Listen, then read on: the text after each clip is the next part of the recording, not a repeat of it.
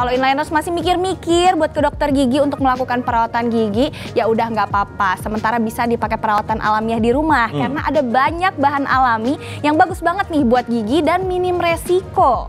Kita lihat nih ya, Hayomi Rinjani yang akan berbagi tipsnya buat kita semua. Betul, tapi tetap saja kita harus cek ke dokter gigi untuk perawatan rutin. Ya. Biasanya idealnya adalah enam Enam bulan, bulan ya. sekali kita ke dokter gigi untuk scaling dan juga perawatan rutin lainnya. Kita simak liputan dari Hayomi berikut ini.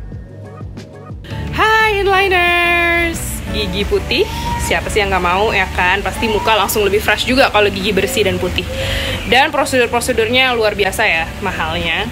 Tapi sebenarnya ada banget cara alami untuk merawat gigi biar nggak makin kuning, bahkan bisa memutihkan juga. Nih buat yang mau tahu, stay tune.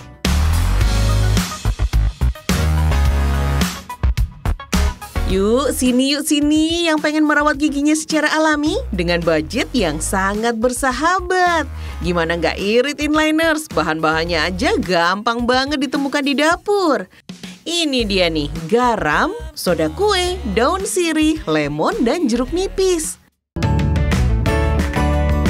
Tips pertama yang dijamin super gampang adalah membersihkan gigi dengan garam. Larutkan 2 sendok teh garam dengan 200 ml air, lalu gunakan untuk berkumur setiap hari. Garam mengandung kandungan antibakteri yang bisa mengusir kuman penyebab gigi berlubang loh.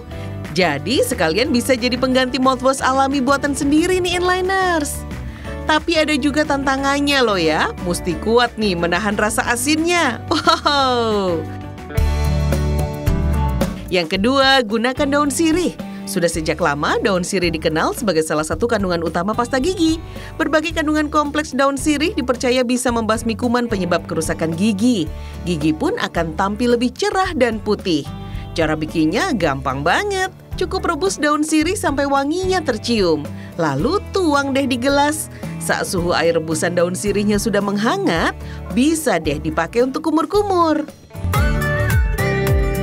Lanjut, kita coba pasta gigi alami, yaitu dari air perasan setengah butir jeruk lemon atau satu butir jeruk nipis. Lalu tambahkan satu sendok teh soda kue. Soda kue atau baking soda bersifat abrasif ringan yang bisa mengikis noda kuning pada gigi. Tapi lakukan perawatan ini beberapa kali saja dalam seminggu ya, jangan tiap hari. Nah, walaupun efek memutihkannya tidak seinstan perawatan estetika gigi inliners, tapi kalau konsisten dilakukan, dijamin gigi kita akan bersih, sehat, dan cerah. Jadi nggak kuning-kuning gitu deh inliners. Dan tetap ingat nih, disiplin sikat gigi setiap pagi dan malam hari. Namanya tampil bersih, tampil menarik nggak Iya. bisa instan ya kan. Kalau instan pasti ada resikonya. Nah, seperti yang Hayomi tadi sampaikan, asal dilakukan dengan rajin dan tetap mengunjungi dokter gigi satu kali dalam enam bulan, kita bisa kok punya gigi yang lebih bersih tanpa harus veneer. Dan juga lebih murah ya.